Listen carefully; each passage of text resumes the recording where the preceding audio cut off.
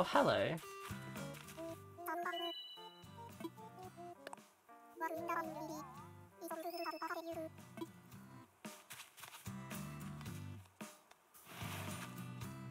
Hmm. I don't know, now the chairs look like they don't. Oh, you fucker, I need to move that chair. Now your fat ass is sitting on it. Ugh. no, I need to move the chair. Oh, you fucking jerk. You just had to fucking plop your butt right there, didn't you?